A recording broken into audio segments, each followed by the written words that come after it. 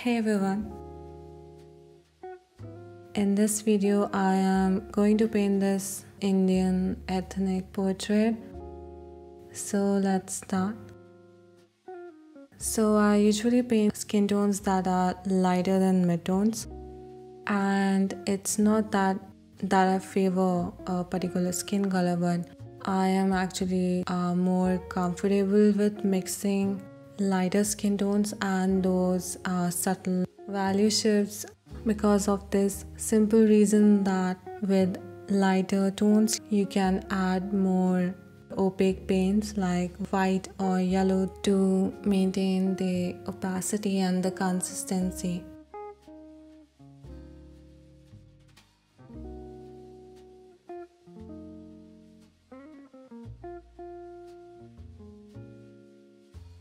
I'm using this opera pink because there is a lot of bright pink color which is kind of hard to mix.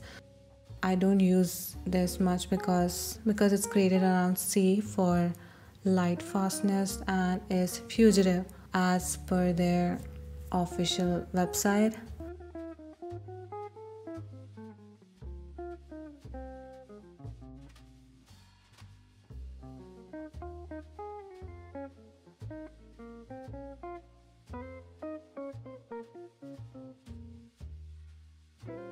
You can thin down gouache like watercolors. I think they look the best when used as gouache and not watercolors. So when you're working with within the darker range or the range above the midtones, it becomes a bit trickier to maintain that thickness and to not disturb the layer below the new layers of dark colors.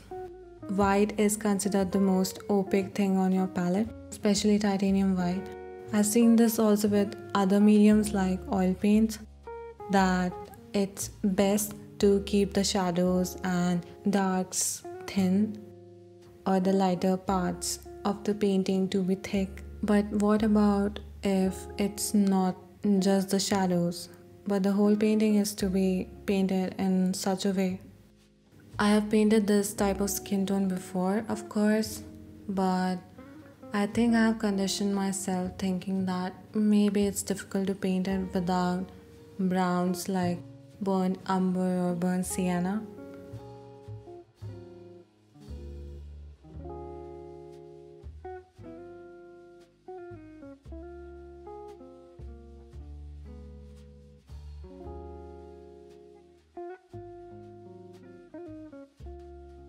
So I'll share my way of painting it without compromising uh, with the consistency of the paint. For the face I'll start with the darks or the shadows first like always.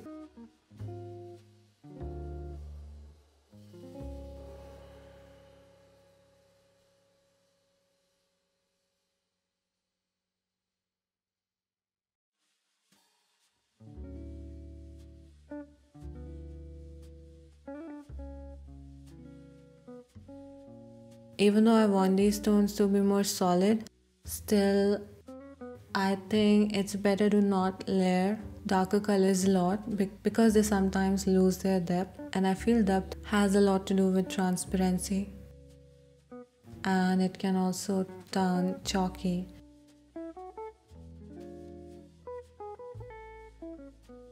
I'm painting this layer mindfully so that I can leave some parts as is later.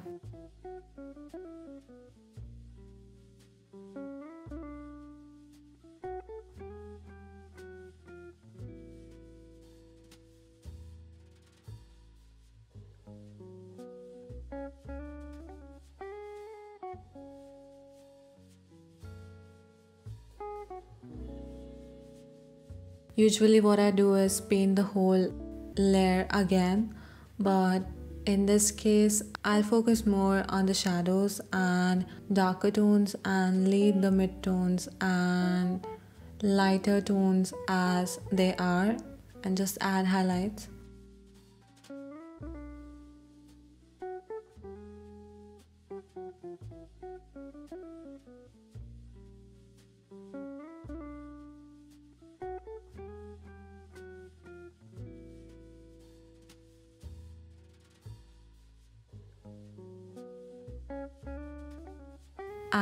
this is the way that I found works the best with these uh, skin tones. First first layer then working up the shadows and tones darker than midtones and then just add highlights. And remember for the lights i'm talking about highlights and not lighter tones uh, because when you add lighter tones on top of these uh, skin tones it won't come together as much and will look separated from the rest of the face uh, like the paint is just sitting there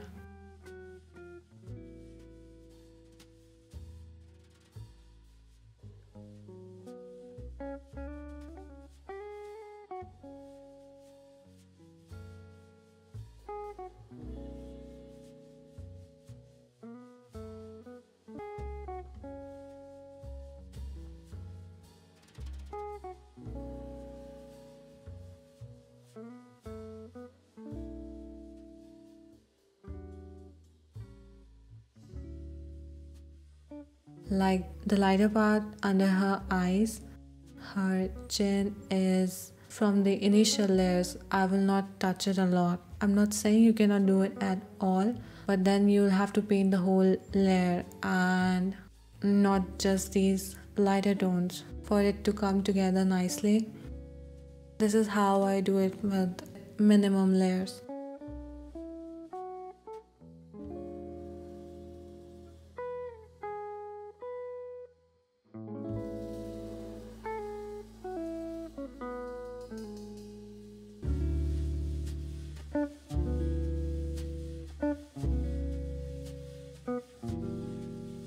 Bye.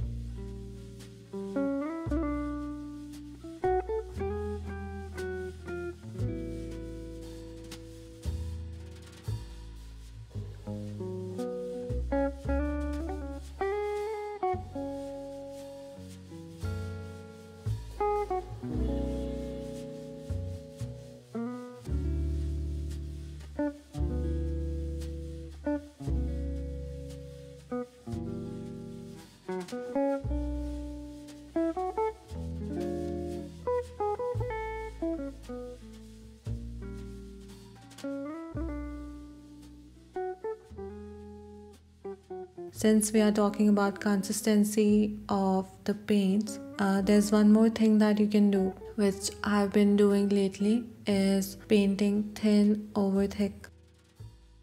Just like glazing and since it's just water it will evaporate leaving the pigment behind. But keep in mind that with the pigment it will also leave the texture behind texture of that thin paint. And that may or may not go with your style.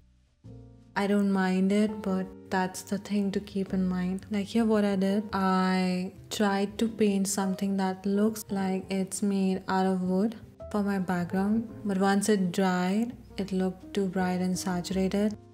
So I toned the color down with thin layer of this brownish dark color and you can still see the colors underneath this layer. I only use this to make my values darker without changing the color too much.